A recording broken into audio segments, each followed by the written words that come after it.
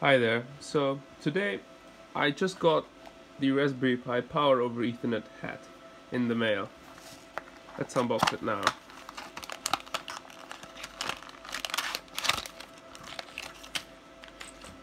So there are standoffs in the package.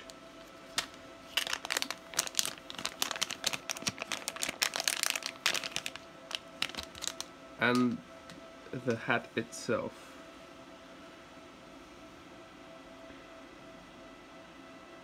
Let's see what chips these are. Uh, I don't know if you can read that. But the way this is supposed to work is I'm sorry, I'm still sick, but the way these are supposed to work is with the Raspberry Pi uh, uh, 3 Model B Plus this just happens to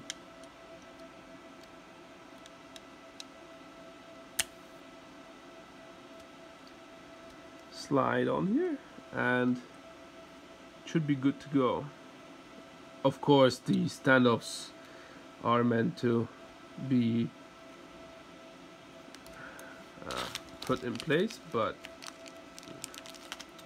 let's try it out. So recently I've upgraded to a power over ethernet Ubiquiti 48 port switch. Um, and as you can see I have a Raspberry Pi running all sorts of things. Um, if you would like to get a video on what's running on that just comment below. But I would love to get rid of this cable and just use power over ethernet. So let's try that now. So yes I know. I, I, I should I should put the standoffs into place before trying this but I'm just too excited so let's give it a go. Um, so we have ready so the way it's supposed to be is using these screws um, just goes through here. If you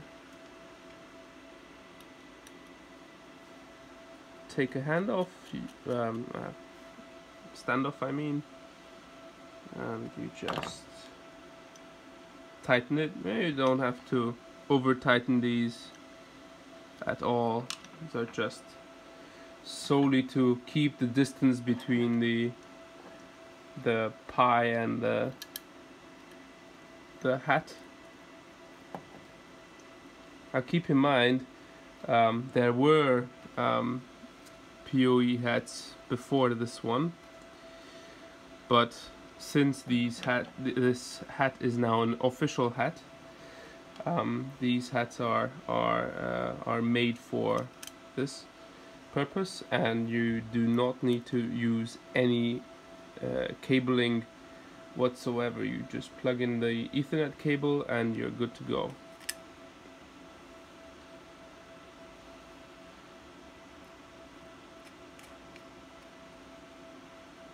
Um, so now we can reinsert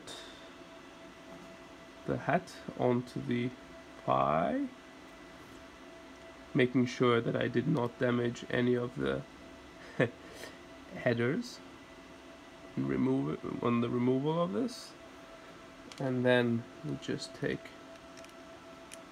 the screws and just screw it in I didn't check if the screws were equal lengths. I'm sorry.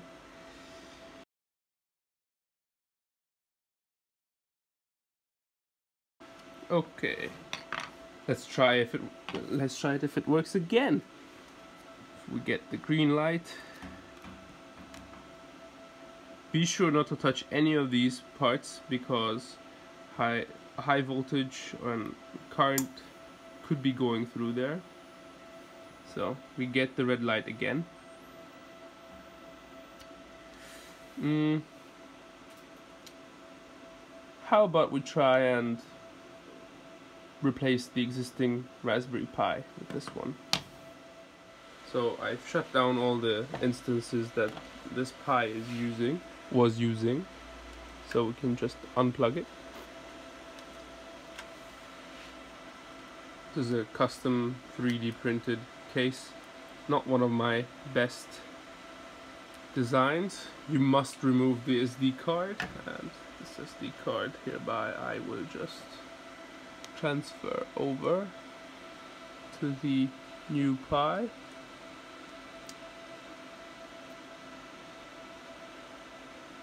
So the new Pi does not have the push to release mechanism if I'm seeing it correctly. The one that we had before.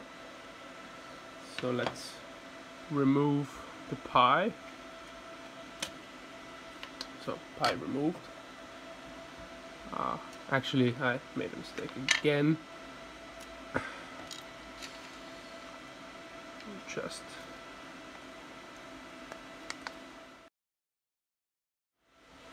so with a bit of fiddling and a bit of filing I managed to make the not long enough screws be long enough. Um, let's put the SD card back into place. Trying not to drop it behind between the case and the Pi so basically if I plug this in this should just work. In theory.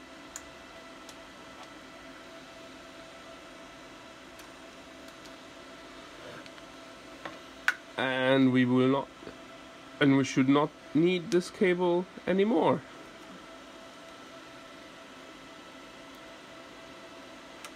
And yeah. So let's go on to the UniFi controller and check what the usage of the Pi hat is. So in the UniFi controller you can see that the Pi is plugged into port 13. The Pi is using anywhere in between 3 to 4 watts of PoE power. You can see that the uh, that you can reboot the device just like any other power over Ethernet uh, device on UniFi. You can also see that the usage of power is right in between the cloud key and the uh, nano HD access point that I have plugged into the switch. So this was the Raspberry Pi power over Ethernet hat. Um, I've checked the functionality, it works. The next things I will have to check is how this fan is supposed to work. But I have more to come with this. If you like this video, please like, rate, subscribe, do all the comments. Like this video, please like, rate, share, subscribe, and let me know what you think in the comments below. Thank you. Goodbye.